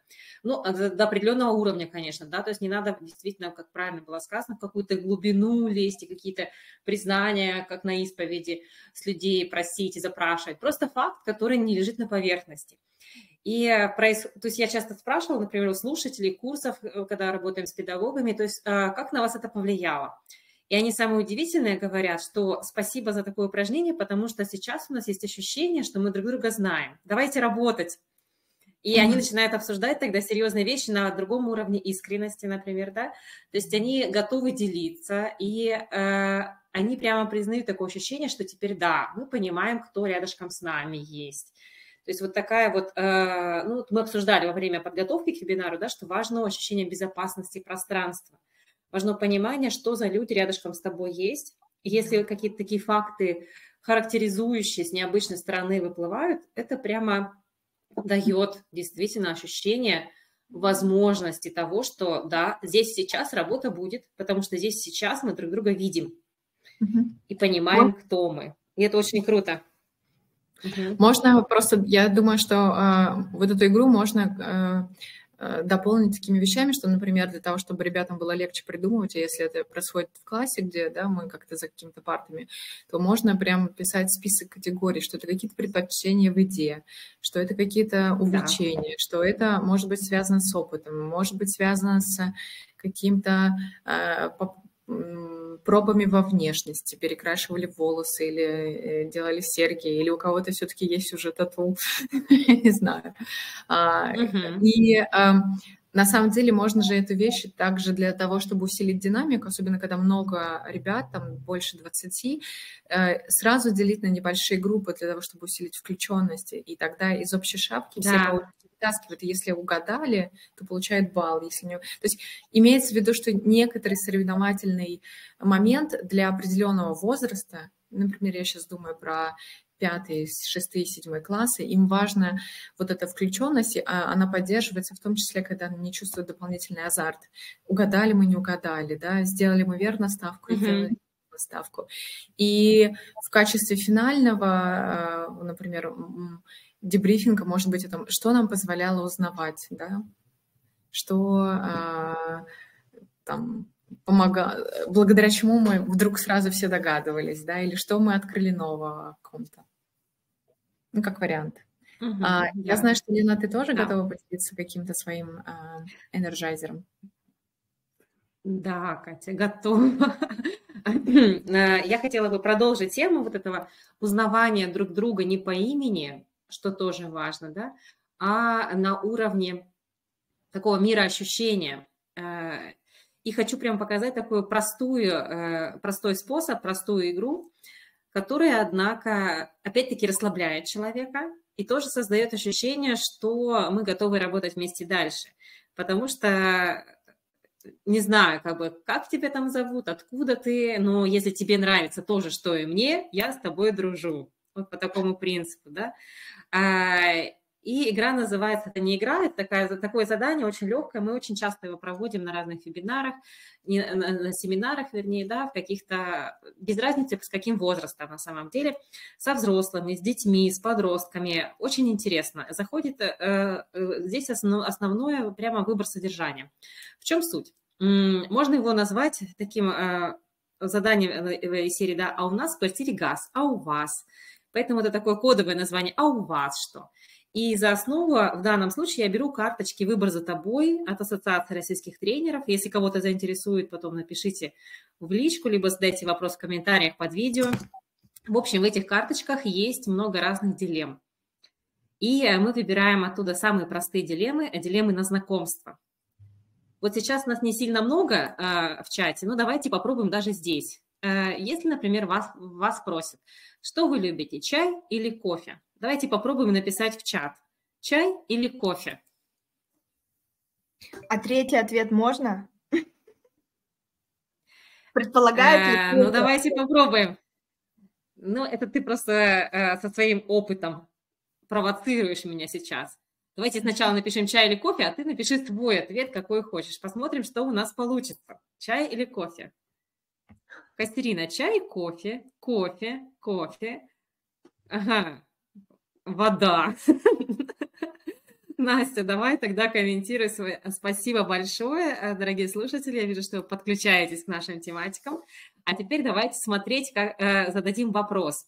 Не просто чай или кофе, и, э, а, а чай и почему? Кофе и почему? Здесь важна аргументация она может быть самая разная. Давайте еще раз поработаем с клавиатурой и написать, напишем еще раз чай, потому что. Кофе, потому что. Настя, давай я тебя пока, пока послушаю. Ты написала вода. Почему? Нет, нет, сказать так, но потому что это мой любимый напиток, э, вода, э, и я пью воду больше, чем люблю что-либо, чай или кофе. А, и да, вот предпочитаю, да, считаю, что вода очень полезна. Вот поэтому. Это тоже обо мне. чуть-чуть позволяет узнать больше. Да, да, да. Катя, а ты что любишь больше, чай или кофе? А, я все, я все пью и воду тоже. Это тоже тебе позволяет многое узнать. Да, это разное настроение. Да, вот Елена Неустроева пишет о том, что кофе, его аромат завораживает. Да, когда я полна силы, хочу вот наполниться, я пью кофе и вот этот вдыхаю аромат. А когда чай, потому что он, как у Анжелики, успокаивает, он утоляет жажду, он как бы разбавляет. Кофе густой, чай разбавляет. Так что я думаю, что mm-hmm. можно коммуницировать со всеми.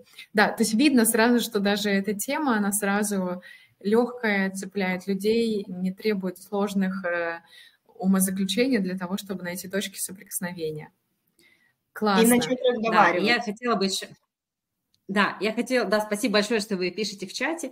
Еще э, продублирую, можно под этим, раз уж вы начали писать в чате, напишите, пожалуйста, фамилия, имя, отчество, чтобы тоже у нас осталась статистика. Ну, это так, использование служебного положения. А вообще э, хотелось бы добавить, что действительно э, волшебное по простоте задание чай или кофе. Потому что когда приходит, например, э, группа, и они так скептически смотрят, работать или не работать, или ты знаешь точно, что впереди сложная тема, где нужно будет, чтобы люди размышляли и думали серьезно, прислушивались к себе и оценивали свое мнение. Сразу начать с серьезного мнения и серьезного вопроса, это означает ничего не сделать.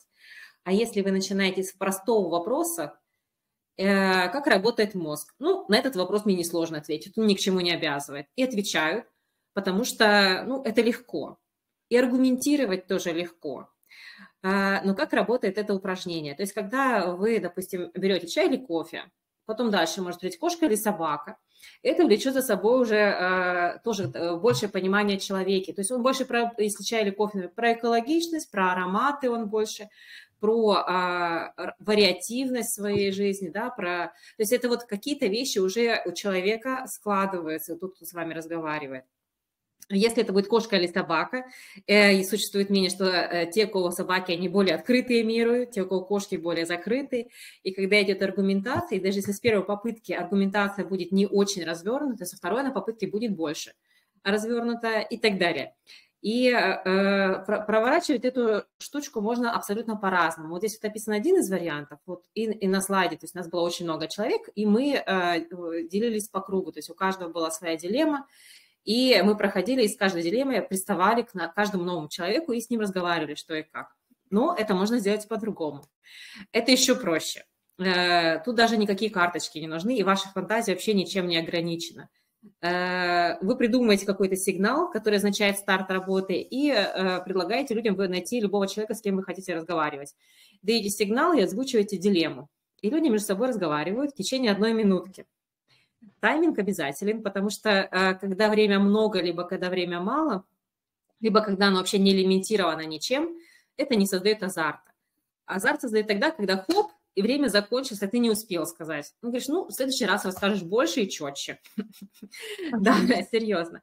Э, э, когда звучит сигнал, обязательно меняются ведущие, меняются пары. Нужно обязательно поменяться и поговорить с тем, с кем еще не было, и звучит новая дилемма. Но фишечка такая, э, позволю себе за выражение именно слова фишечка, заключается в том, заключается в том, что начиная с самых простых дилемм, дальше вы можете уводить в более серьезные дилеммы. И когда вы какое-то занятие предвидите, в чем будет противоречивость, например, темы, и какую-то дилемму можно уже вывести, э, ну, подводить ситуацию. Например, критика полезна или критика вредна. А человек как на рельсы. Он встал, и он уже едет. Он выбирает и аргументирует, и он уже не останавливается. И на самом деле тогда этот вопрос уже будет действительно актуальный, и он будет говорить на эту тему. Попробуйте. Э, действительно, про, про, получается все, Катя. Ага, Лена, спасибо большое. Это выглядит как мостик к нашему следующему третьему блоку, который про как раз э, э, энерджайзеры, которые Э, уже даже не с контактом, не с психологической атмосферой работают в группе, а с тем, как это можно вводить в содержание. Давайте мы перейдем к нему. И, а, да, это действительно такой, да, это действительно такой мостик, потому что когда мы строим такое вот наше образовательное пространство, важно каждая деталь И начиная с такой простой игрушки, можно выйти на серьезные темы. И третья часть э, нашего сегодняшнего вебинара, то есть мы разговариваем про энерджайзеры как импульс к общему разговору. Когда идет совместное проживание чего-то, и потом идет рефлексия, обязательный дебрифинг по своим законам. И тогда мы можем это использовать. Э, из твоего опыта я могу сказать, что с подростками очень сложно разговаривать сразу, ни с того, ни с сего, на серьезные темы. Об этом, конечно, был более подробно наш предыдущий вебинар. Мы разговаривали про импульс и важность проживания, важность дебрифинга, но сегодня мы вот энерджайзеры э, вам преподносим, грубо говоря, под тем же соусом, потому что их тоже можно использовать. Энерджайзеры – это короткие упражнения, напоминаю, которые создают какую-то нужную нам цель, атмосферу, нужную энергию, либо нужные смыслы. Итак, давайте сейчас попробуем вместе я предложу, вы увидели, да, сову? Ну, вы ее не видели, представьте. А, итак, а, сейчас давайте вместе. Поставьте, пожалуйста, плюсик, если вы готовы вместе сыграть небольшой энерджайзер. Он волшебный. Сразу говорю, ну, очень простой, и вас никто не видит. Поставьте плюсик, если вы готовы. Спасибо. Спасибо большое. Ну и хотелось также бы в чате, чтобы вы потом написали, как вы себя вдруг в нем почувствовали. Итак, вот сейчас, смотрите, я могу двигаться. Я думаю, вы тоже можете двигаться, сидя перед экранами. А, попробуйте, сидя, повернуться а, направо настолько, насколько вам возможно. Ну так, максимально далеко направо. Попробовали? Угу, да. Да, а, а теперь поверните голову налево и найдите какой-нибудь предмет, который вас чем-то зацепил. Остановитесь на этом взгляд, взглядом. Нашли?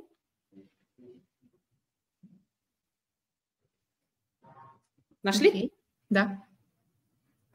Ну, я надеюсь, что вы не в пустой комнате, где только белые стены, а у вас есть рядом предметы, на которые можно остановить взгляд. А теперь задачка следующая. Поворачиваясь направо, попробуйте увидеть этот предмет еще раз который мы выбрали слева. Да, да, который выбрали слева.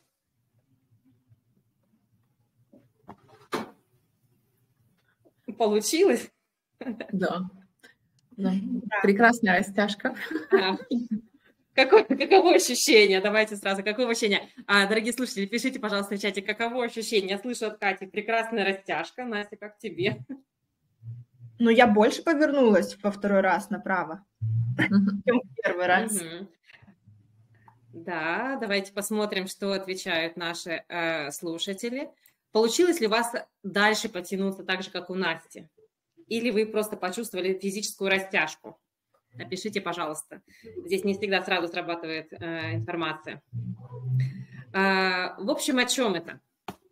Это о том, а, что часто потом можно спросить, как вам кажется, почему во втором случае вы а, повернулись гораздо дальше, чем в первом?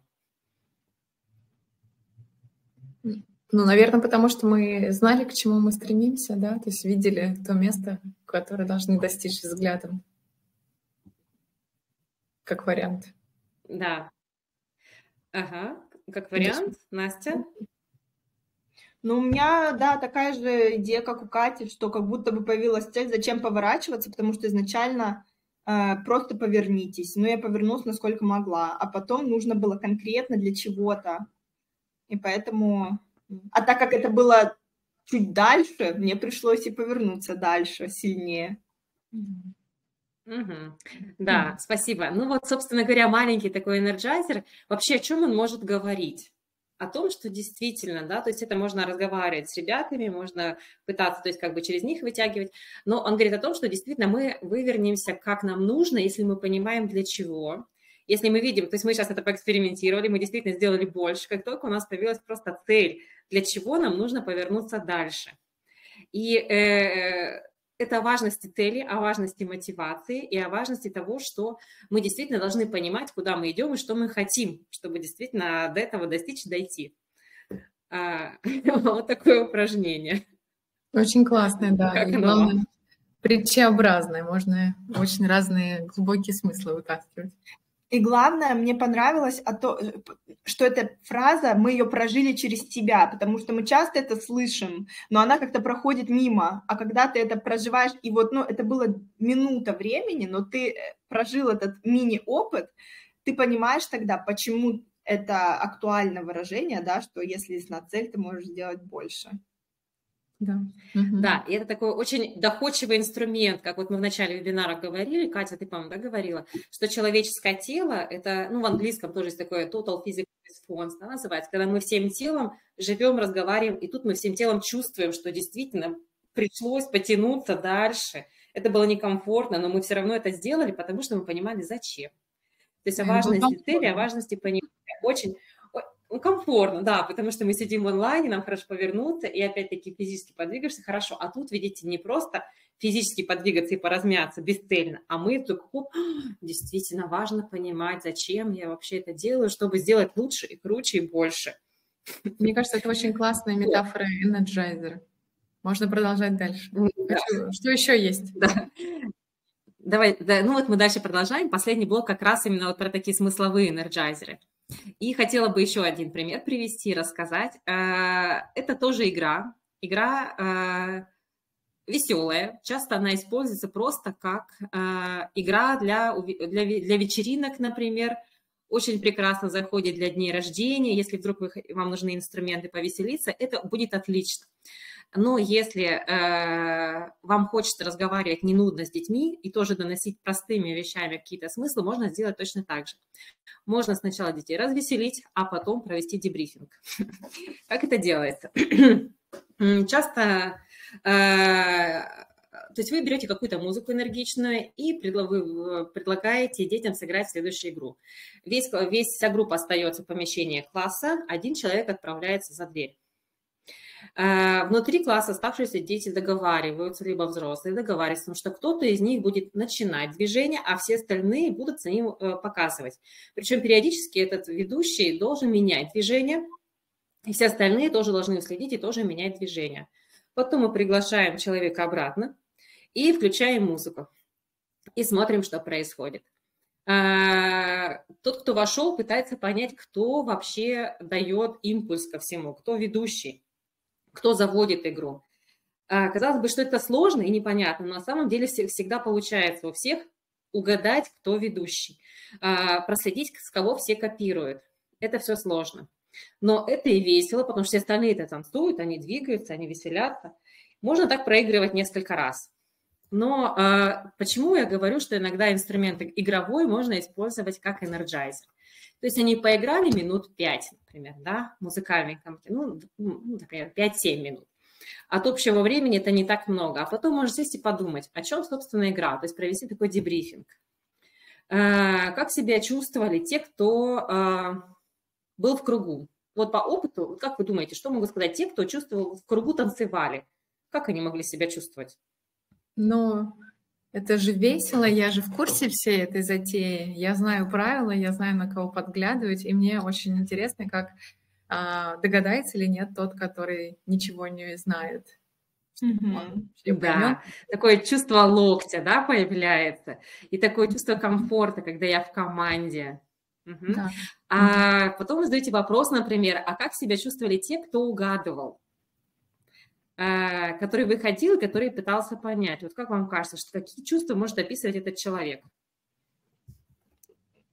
Ну, э, это растерянность такая, когда ты, особенно когда ты много раз не можешь угадать, например, а всем вокруг весело, да, да. все танцуют, а получают удовольствие, а ты не понимаешь, что происходит и где этот человек, э, как тебе хочется уже скорее угадать и встать в круг к этим людям например, да. Да. Еще Потом я думаю, ты, что... конечно, начинаешь всматриваться, думать, ага. Еще я думаю, что это вот ощущение, то, что вы все в розыгрыше против кого-то, у вас у всех шалость удалась, да. а у него еще или у нее как бы пока нет шансов. Да, да, да.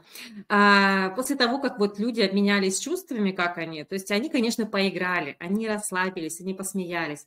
И почему это здорово? Потому что когда человек посмеется, он готов работать без сопротивления. Это такой волшебный инструмент улыбки. И э, если вы задаете вопрос, например, о чем эта игра в нашей жизни, какие вы видите мостики соприкосновений, почему я вообще эту игру проводила, э, здесь начинают люди думать. И здесь все зависит, конечно, от контекста вашего класса и на что вы направляете игру. Очень часто удобно эту игру использовать, когда, например, в классе новенький, и когда вы понимаете, что ему либо несколько новеньких, когда им тяжело адаптироваться, и проблема является в том, что все, весь плати, сплоченный коллектив уже не хочет его принимать, например, да, либо ему тяжело вообще э, подружиться с кем-то, говоря простым языком, потому что уже сложились конкретные, конкретные пары, тройки, группы, и у них уже все хорошо без каких-то э, лишних дополнительных людей. И тогда вы можете завести э, вообще разговор, а чья это ответственность, что а, а, человек, человека вы принимаете, либо не принимаете. Хотели бы вы себя чувствовать на месте тех, кого не принимают? А, маленький такой вот, опять фишечку буду использовать слово. Если вы как педагог направляете эту игру вот на ситуацию принятия либо непринятия, очень важно за дверь отправлять тех, кто обычно является источником конфликтов в классе, которые вот всех задирают, чтобы они прочувствовали на своей шкуре, что это значит такое, когда все против тебя по ощущению, а, когда ты не можешь угадать вообще, что происходит, что все по своим правилам играют, а ты стоишь такой растерянный, чтобы они это прочувствовали, чтобы хотя бы кто-то из них сказал, ну да, это не очень комфортно, Mm-hmm. А, а ему это будет сложно сказать, потому что обычно он с той стороны, кто заводит игру, да, например. Mm-hmm. И тогда уже может состояться разговор о чем это? О том, что а, вот убирать противостояние, выстраивать сотрудничество, договариваться между собой, о том, что не всегда... И, а еще такой важный вопрос, да, а действительно ли те, кто, а, которые а, заводили игру, действительно ли против тебя играют? И тут важное понимание, осознание, что они не против тебя играют, просто они играют. Но они ты им не враг, ты просто тот, кто угадывает, да. И здесь вот это вот важно вот разрушить ситуацию враждебности, что это игра, в которую пока ты не играешь, но ты можешь точно так же в нее играть. И это тоже очень здорово работает, могу от себя сказать. Лена, а ты можешь еще раз технически повторить, как звучит задание для человека, которого отправили в коридор?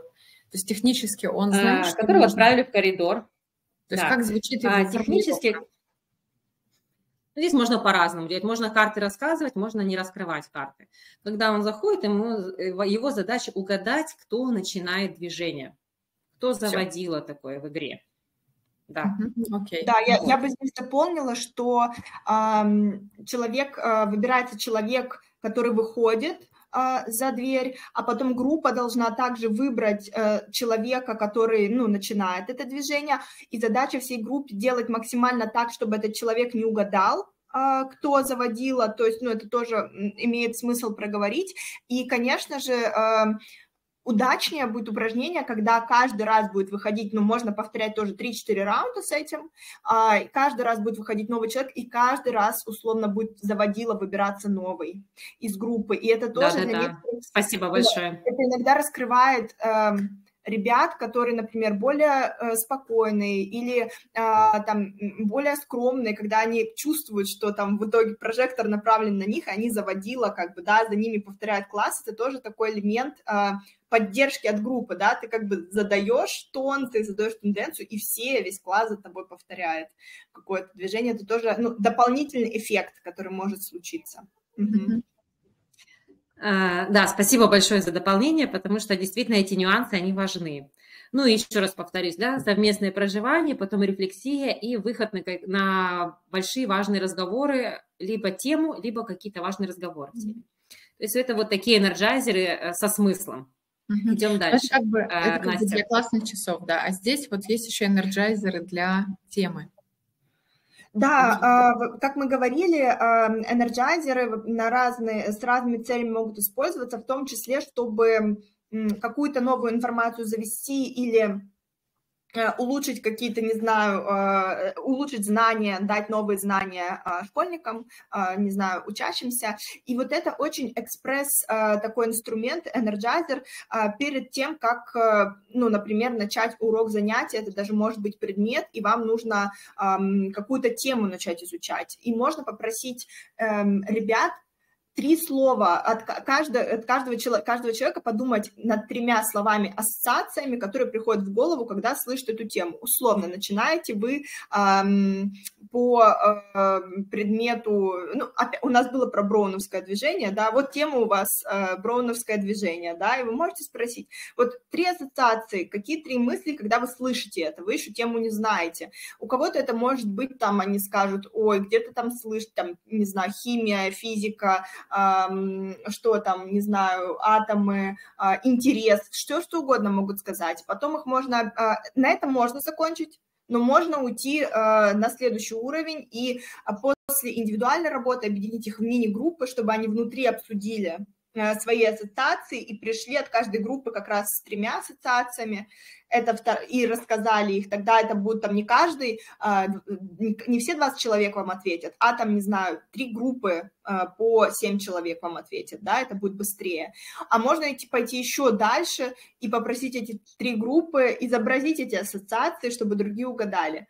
Это тоже дает возможность посмеяться э, обсудить э, вообще, какие мысли витают в классе по поводу той или иной темы предметной, либо непредметной, либо тему классного часа, да, какого-то, а, и измерить условно температуру педагогу дает э, возможность этот инструмент, чтобы понять, например, на что сделать упор. Если на, очень много мнений, не знаю, страх, э, там, какие-нибудь преобладают негативные ассоциации, то учитель может сгладить это, да, где-то углубив информацию, где-то, может быть, дать дополнительный материал, где-то наглядность усилить и так далее. Поэтому э, можно по-разному использовать, и можно вообще уйти в, цифр, в цифровое, и эти три слова попросить не написать, а там в облако слов загнать. Ну, в общем, тоже использоваться может по-разному э, этот инструмент и адаптироваться к любой теме. Он разогревает именно мыслительную деятельность, я бы сказала так. А, да, спасибо. Можно я здесь сейчас такой несогласованный спойлер кину? А, у нас в мае а, будет э, вебинар про разные креативные формы рефлексии.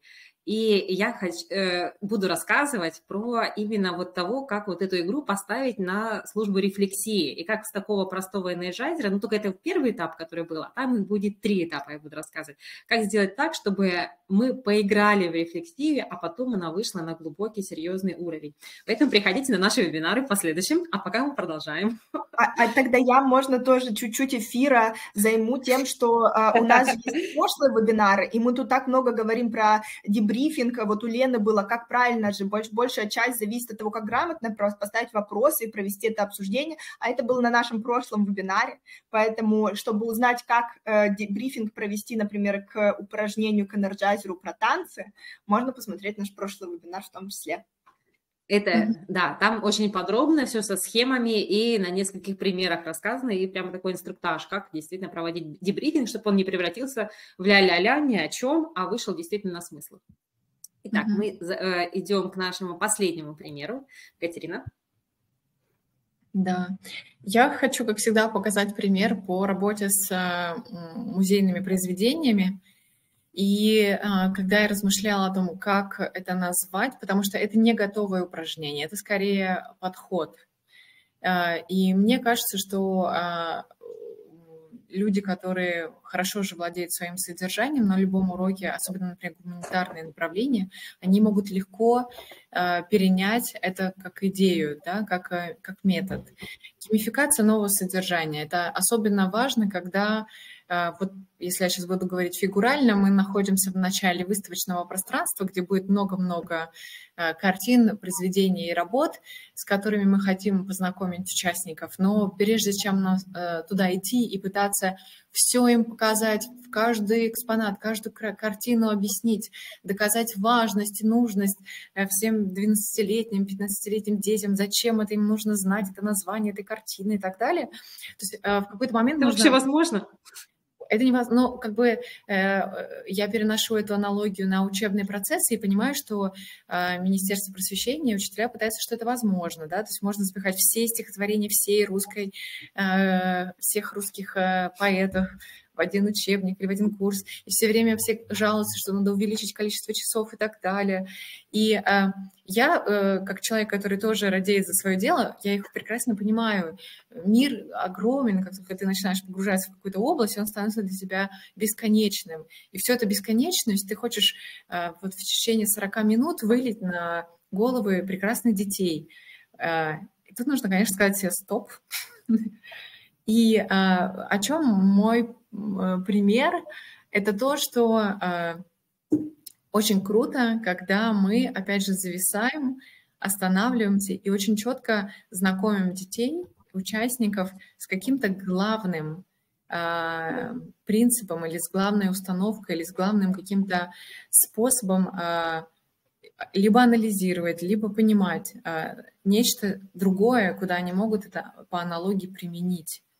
И вот, например, здесь у нас есть э, фотография, на которой э, недавно выставленный в музее художник Виктор Сачивка нарисовал огромное количество эмоций, таких эмоций. Э, с этого начинается его выставка, а, и по большому счету мы дальше на самом деле не ходим, но для нас это очень классная старт э, для многих других произведений в музее, музее, которые связаны с современным искусством, непонятные, противоречивые, сделанные из каких-то странных материалов, о каких-то непонятных вещах и очень неутилитарных. Ты даже не знаешь, как это применить в своей жизни. Но вот ты это увидел, и что дальше? А, и это много вопросов, которые вызывают э, у участников ну, скепсис какой-то. А, и вот, например, что мы здесь предлагаем. Мы предлагаем, допустим, вдруг участникам а, серию вопросов, которые а, по аналогии, Лена, с твоим примером, да, раскручивают мозг от самого простого к сложному, потому что мы видим, какие эмоции изображены, и дальше предлагается очень такой парадоксальный способ. Это такой как раз тот прием, который, мне кажется, можно и классно использовать на других гуманитарных предметах, а, когда мы переворачиваем. А если мы, как зрители, как посетители, видимы для картин, а, окей, а если среди них есть те, которые улыбаются, давайте им тоже улыбнемся. А если среди них есть те, которые... Э, кто, кто-то видит какую-то эмоцию, картинку, которая смотрит на вас с восторгом, вот ребята выбирают. Окей, а если э, на нас смотрят с восторгом, то как мы встаем, как мы двигаемся? А, и, например, э, это можно докручивать до того, что а если какие-то э, эмоции или выражения вот здесь лиц смотрят на вас э, ну, не то чтобы с яростью, но с недоброжелательностью как минимум. Вот если мы посмотрим дальше, то что можно применить? А, и, например, как один из вариантов, то, что давайте мы их тоже напугаем. Лена, если ты покажешь, то мы как раз увидим фотографию, на которой ребята пугают картины в музее. А, с одной стороны, это а, очень сильно всех смешит, потому что, ну, это громкий крик, вы, вы по-настоящему, у вас сразу не получается их напугать, вам приходится сконцентрироваться все вместе, пугать хором. И а, после этого а, очень классно выходить на м, те вопросы, а что мы сейчас с вами делали, а для чего, а почему вообще эмоции так близко связаны с современным искусством, а то, что, например, а, современное искусство без эмоциональной составляющей, оно как бы невозможно его рассматривать, что чаще всего искусство пытается достучаться до наших чувств и эмоций, да, и как мы это чувствуем, и готовы ли мы останавливать свое внимание и вкладывать туда свои интерпретации, только в этом месте происходит, например, проживание этого ощущения, что это и есть произведение. И если мы потратим на э, работу с этим произведением через такие двигательные эмоциональные практики, может быть, даже слегка театрализованные, а, минут 10-15, нам не нужно потом каждую работу на этой выставке доказывать, почему она цена и о чем она. То есть главное, что э, понят и, скорее всего, присвоен э, сам принцип понимания, что я смотрю на произведение искусства и чувствую эмоцию. И вот как бы в этом месте случается пересечение меня и произведения искусства когда мы обсуждали, да, была в том числе... Ага, Лена. Очень, очень классно, на самом деле, мне это так импонирует. А, то есть идет такое присвоение вот такого корневого м, смысла, который вообще закладывается в мероприятие образовательное, да, разговор через эмоции, насколько я сейчас слышу, да, понимание того, что а, ко всему можно относиться Э, и что автор закладывал какие-то эмоции. И действительно потом не надо это объяснять, потому что здесь прожит вот этот смысл первоначальный. И ребята прошли вот ситуацию, видно, что они не, не, не просто так, да, вдруг кого-то там пугают, со всех сторон видны искренние эмоции. И они на этой эмоциональной волне, конечно же, будут воспринимать все по-другому. Если э, поначалу может показаться, что это пустая трата времени, какие-то там энерджайзеры проводить, но по факту проведя энерджайзер и направив его в нужную нам цель, э, мы получаем гораздо больше выхлоп и меньше нужно объяснять. Вы никогда лекционно не добьетесь такого эффекта, который можно добиться через простой энерджайзер, когда вот так вот дети на тебя О! кричат, и а, то есть они в этот момент в процессе, они в действии, они чувствуют, и они это проживают, и это их а, их собственный опыт, тот, который они получают внутри через свои собственные инсайты, через э, эмоции, и это очень замечательно. Спасибо вот большое, Катя, за mm-hmm. такой пример. Ну, я думаю, что мы можем... Да, еще, конечно, хочу... Финальный слайд. Uh, да, еще... Да, еще, еще, конечно, хотелось бы сказать, что не всегда, к сожалению, такие вот возможны варианты э, в пространстве школы, поэтому все, кто красноярские, я вам крайне рекомендую приходить, Катя, на программы в музей, книга, игры, чтобы ваши дети погрузились в эту необычную атмосферу самого музея и попали в цепкие руки, грамотных ведущих, модераторов, которые донесут до них основные принципы современного искусства через грамотные инструменты. А мы с вами можем показать, взять Катин опыт и переложить на наши образовательные пространства, уроки, классные часы и так далее. Спасибо. Спасибо. А, итак, хотелось бы подытожить. А, здесь вот прекрасная картинка с мишенью. Это говорит о том, а, конечно же, что начиная мероприятие, начиная урок, мы, конечно же, имеем какую-то цель. И под эту цель мы можем подобрать нужный нам инструмент. И мы можем начать с энерджайзера, очень даже неплохое начало, я вам скажу.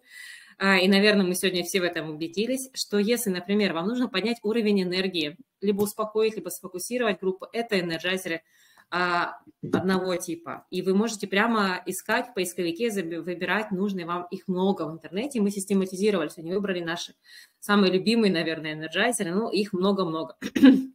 То есть э, не все они идут на... Не все, и не все они одинаковые. Первый тип – сфокусировать энергию, вот вы, э, работать с энергией группы, либо успокоить группу. А второй э, тип – это когда нужно создать безопасное пространство и сделать такой задаток, чтобы люди вступали друг с другом в разговор. Создать атмосферу безопасности, э, создать ситуацию одного эмоционального настроя, может быть, даже уже не энергия, а вот таких смыслов, понятий. Э, понятие, что здесь можно быть открытым, потому что вот какие-то сработали другие средства, которые, может быть, были незаметные, которые выглядели как игра, но психологически вы понимаете, что э, дети будут ваши, и они будут работать так, как вам хочется. И третий вариант – это когда мы используем энерджайзеры, простые маленькие короткие упражнения, чтобы подвести к теме, чтобы выйти на какое-то обсуждение, чтобы вместе прожить этот опыт, чтобы потом э, действительно сложился дебрифинг, сложилось обсуждение по законам дебрифинга, которым был предыдущий вебинар. А сегодня было несколько примеров про энерджайзеры. А, собственно говоря, все. А, давайте сейчас, пока я немножко рассказываю про то, что у нас осталось всего лишь два вебинара в этом учебном году. А, напишите, пожалуйста, в чате, что вам откликнулось больше всего, какой из типов вебинар, э, из типов энерджайзеров, возможно, либо э, какая-то мысль кратко, которая называется иностранным словом insight, ну, на русском озарение, что что-то можно сделать по-другому, например, и что-то я беру к себе в работу. Э, и пока вы формулируете в чате, ситуацию расскажу немножко, что у нас осталось э, всего лишь два вебинара. 19 апреля мы будем работать по теме, э, что работает на сплочение класса, и будем рассматривать разные примеры программ и как можно примеры программ переложить на обычные уроки нашей обычной э, ежедневной деятельности. И 19 мая тоже будет восхитительный вебинар, я считаю, потому что он будет про рефлексию про понимание того, где и сейчас, и как это сделать, и чтобы это было не нудно, интересно, увлекательно, и вообще походило на вечеринку, либо на какое-то творческое мероприятие, а, как это сделать, мы тоже будем рассказывать. Э, это будет про ценность рефлексии. Вот. А у нас все. Э, спасибо большое за внимание. Я вижу, вы не успели написать в чате. Предполагаю, как оптимист, что у вас просто много мыслей по разному поводу. Э, мы заканчиваем наш сегодняшний вебинар. Спасибо всем, кто подключился. Надеюсь, что было полезно, что вы смогли, э, не пожалели о потраченном времени, что вы с нами здесь и что вы присоединитесь к нам в следующий раз. Да, а... спасибо большое и до встречи 19 а, апреля. Все, спасибо большое, до свидания. Э, приятно, что вы отправляете слово «спасибо». Значит, было полезно.